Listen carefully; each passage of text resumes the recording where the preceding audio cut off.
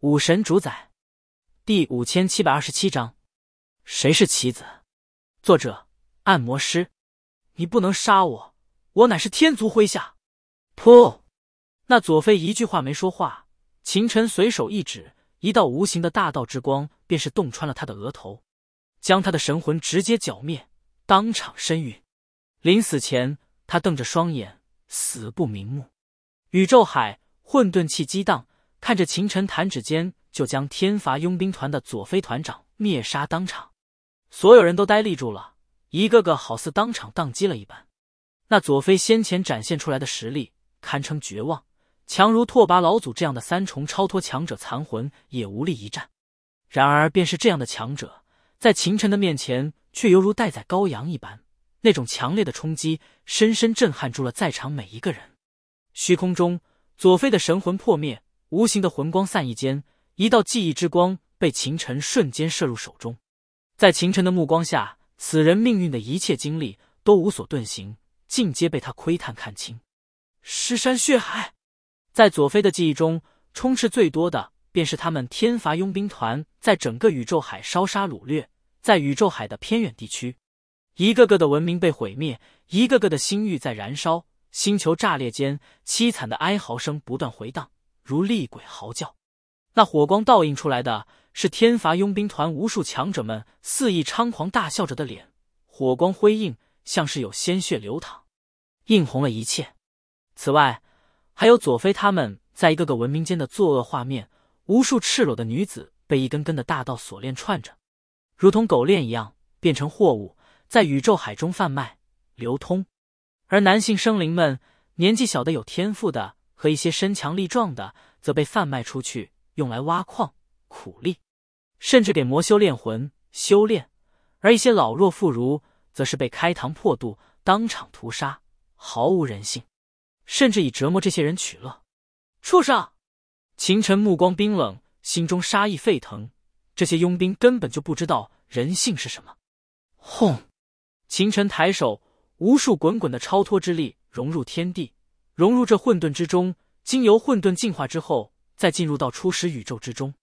冥冥中，众人感觉到初始宇宙的天道似乎变强了许多，身上原本无法提升的修为，竟是跃跃欲试起来。这些天罚佣兵团之人虽然作恶无数，但他们的本源却是大补之物，壮大着初始宇宙。嗡！而这时，远处的金字塔和诸多非洲，此刻竟是骤然动了起来，空间光芒闪烁。竟是要打开虫洞，穿梭虚空，逃离这里。虽然左飞他们陨落了，但这些金字塔中却还有后勤人员在，此刻全都惊恐无比，仓皇而逃。死！秦晨抬手，眼眸冰冷，右手轻轻按压下来，一道无形的力量弥漫。开来，顷刻间，金字塔和那诸多非洲全都停了下来，里面原本还活着的诸多天罚佣兵团成员。尽皆灰飞烟灭，尸骨不存。嗯，秦晨看了眼那金字塔所在，一抬手，下一刻，几道身影出现在了他的面前，正是被囚禁起来的司空震、凌渊至尊、司空安云几人。暗暗大人，黑暗之母大人，看到秦晨、司空震等人一惊，旋即急忙道：“大人小心，有宇宙海强者来袭，要进攻初始宇宙，我黑暗一族已陷落。”大人，赶紧离开这里！不用说了，秦晨摆手，所有事情我已知晓。你们放心，那些人都已经死了，你们安全了。死死了！司空震等人怔怔看着四周悬浮的金字塔和诸多非洲，那虚空中在不断动荡的超脱之力，让他们瞬间明白过来先前所发生的事情。死！内心瞬间涌动无尽震撼。你们辛苦了。秦晨看了眼身受重伤的司空安云等人，这才从先前的激愤之中清醒过来，一抬手，嗡的一声，一道无形的力量笼罩住几人。在几人难以置信的目光中，司空安云几人身上气息迅速恢复，甚至连拓跋老祖原本即将崩溃的残魂也是稳固了下来。逍遥前辈，这些天罚佣兵团的战舰非洲就交给你了，你来安排一下。里面有天罚佣兵团所掠夺来的诸多宝物，秦晨对着逍遥至尊开口道：“逍遥至尊一脸感慨，秦晨，这些就交给我们吧。他看着秦晨，难以置信，当年还在他身边跟着战斗的年轻人，如今竟已有了这等实力，这真的是……哎，还是得有后台啊！诸位还请一同收取这些战舰和非洲。秦某先去处理一些事情，回头在人蒙城，我再和诸位碰头。秦晨对众人点头道：“陈少，你先去忙。”众人急忙开口。秦晨点头，旋即带着思思几人一步跨出，骤然消失不见。初回初始宇宙，他最先要见的自然是古帝前辈，因为他有太多的疑惑还没有弄清。哈哈，兄弟们，这些非洲可都归我们了。走，咱们赶紧去看看。不等逍遥至尊开口，洪荒祖龙已经第一个冲了上去。他来到一艘非洲前，左摸摸，右摸摸，一脸的爱不释手。啧啧，这可都是宝贝啊！洪荒祖龙口水都快流下来了。能在宇宙海飞行的战舰，别说初始宇宙没有，就算是南十三星域，怕是也没几艘。特别是那金字塔。这可是超脱极限级的战争堡垒，非地级无法攻破。这天罚佣兵团能在宇宙海纵横，此战争机器怕是占据了不少功劳。拓跋老祖感叹：他当年在宇宙海南星域的霸阳军团任职，毫不客气地说，这么一艘战争堡垒，也只有军团队长级的高手才能拥有。整个军团有诸多小队，最终形成一个庞大的军团。一位军团长便是地级高手。掌控地级机械秘宝，融合诸多小队至宝，最终形成一个庞大的整体，镇守一方。此刻，众人都来到这金字塔前，此物恢宏，防御无比坚固。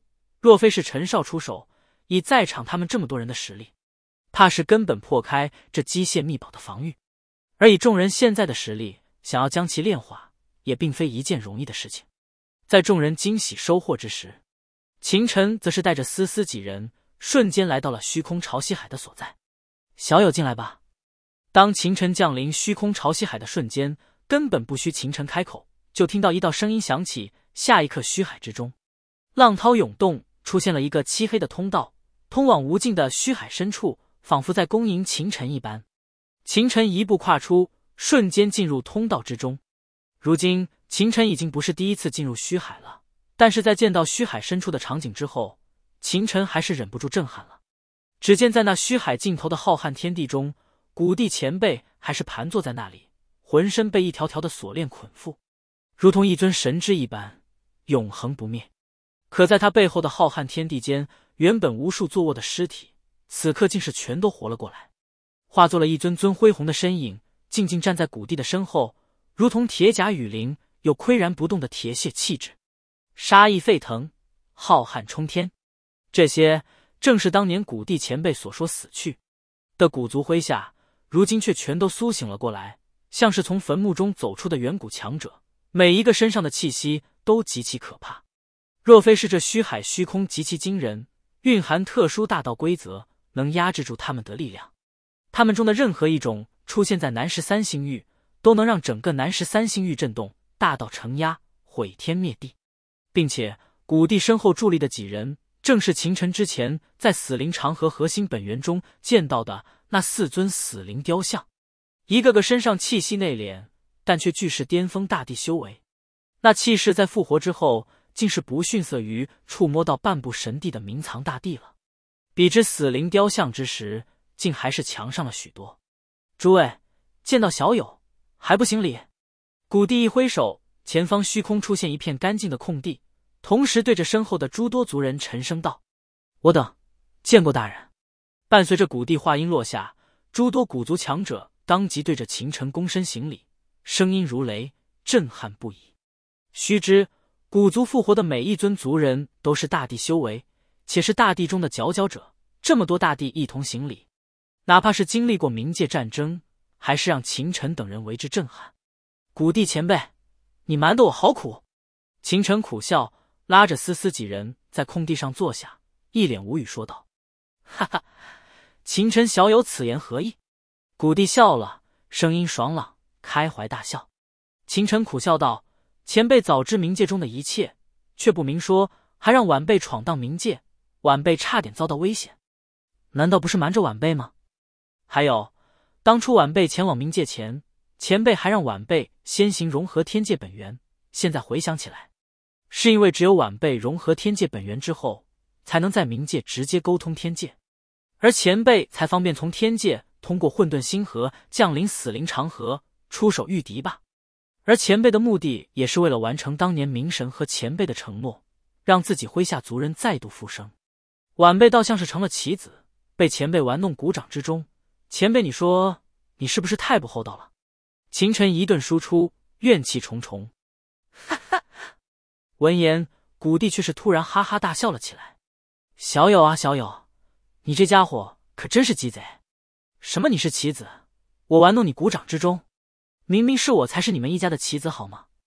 谷帝幽怨开口。本章完。